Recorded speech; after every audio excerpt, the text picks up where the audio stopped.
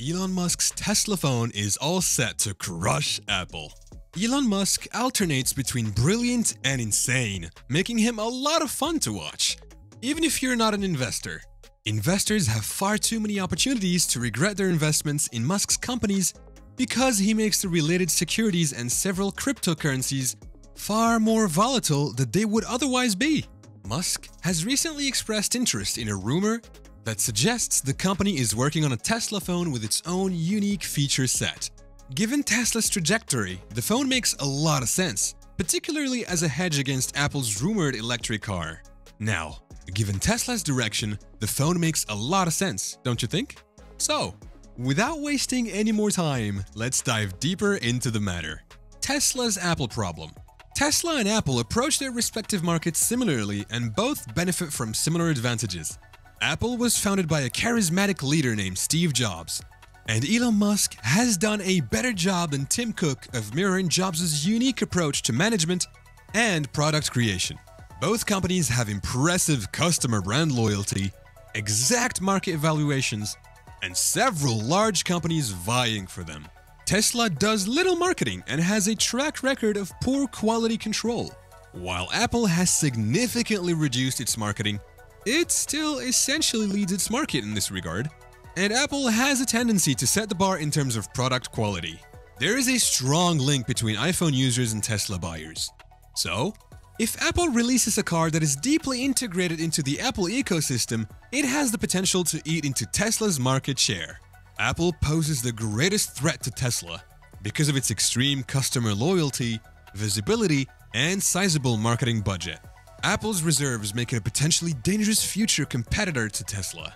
Smartphones are finally becoming essential elements of new Tesla vehicles, and they are already partially integrated with the audiovisual technology that is found inside Tesla cars. This integration would give Apple a competitive advantage, and it might prevent interoperability with Tesla vehicles while discouraging Apple customers from purchasing Tesla cars. This final argument has a good chance of convincing Musk to rethink the design of his phone.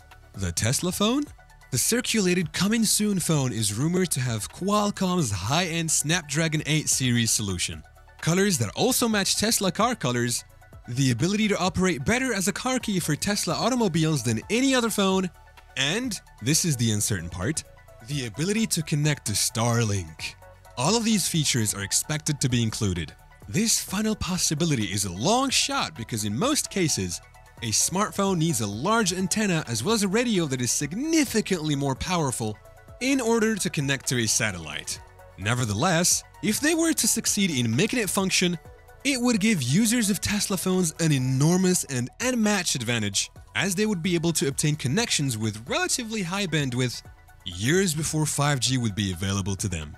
If a 5G network was unavailable or if you wanted to watch a movie on your phone while driving, the best option, in our opinion, would be to integrate the satellite connectivity into the vehicle itself, which would make it easier to conceal the large antenna. After that, you could set it up so that your phone connected to the vehicle rather than the 5G network, you know, to get around data caps. After that, the vehicle will be equipped with a satellite connection that is always active, allowing for remote control and a more reliable reporting system for attempted thefts or damage to parking lots. The Tesla phone could be further integrated with your Tesla vehicle, which is becoming increasingly common as smartphones take the place of physical car keys. For instance, it might have individual buttons for locking and unlocking the car, locating it, and yelling for assistance through the car's external speakers in order to attract people's attention. If you had this autonomous feature and wanted the car to pick you up, the phone would also help the car locate you so it could do so. If Elon Musk is more visionary than the Apple CEO, Tim Cook, was with the Apple Watch, he will make those features configurable so that they could work with other cars. If you do think about it, this phone could be a foot in the door to getting most people to buy Tesla's automobiles. Tim Cook was more visionary than Elon Musk was with the Apple Watch. Oh, and just as a side note, a Tesla smart watch that worked with the car might be even more interesting, but there's no rumor about that feature being implemented just yet. Now, it is important to keep in mind that Qualcomm assisted Apple in the production of the very first iPhone, and that since that time, they have significantly increased their ability to fulfill their duties. Tesla would need to add the car features, which is something that they are precisely more than capable of doing. This would be necessary because Tesla starts with market-leading phone technology thanks to Qualcomm's assistance. It's possible that Tesla will do a better job than Apple of integrating the phone in the car. Qualcomm is capable of having successful partnerships with anyone and did so successfully when it assisted Apple in getting started when the company was worth much less than it is now. Neither Tesla nor Apple has shown itself to be an excellent business partner. With assistance from Qualcomm, Tesla may be able to more than catch up to Apple in terms of phone technology. Given their work with car audio and autonomous driving, Qualcomm has significantly more experience with automobiles than Apple. In spite of the fact that Tesla is lacking on a phone side, Qualcomm will help close that gap. On the other hand, Tesla knows significantly more about cars than Apple does, if Tesla is able to get its quality to where it needs to be, which is big if considering its history, the company should be able to deliver an improved driver experience sooner than Apple can. In addition, the regulatory obstacles that must be overcome in order to construct a car are significantly more difficult to overcome than those that must be overcome in order to construct a phone. Consequently, it can be argued that it's possible that Tesla will have a significantly faster time in the industry with Qualcomm than Apple will have with just its new car. Ironically, Tim Cook is less of a car guy than Steve Jobs was, which suggests that the first Apple car will most likely be Apple's Zune. Tim Cook, on the other hand, is more of a computer guy. If that Apple car is a disaster, well, it would likely make not only Elon Musk's day, but also Steve Ballmer's day, as he was the father of Zune and would appreciate Apple having a similar experience. If that Apple car is a disaster, well, it would likely make Elon Musk's day, but also Steve Ballmer's day.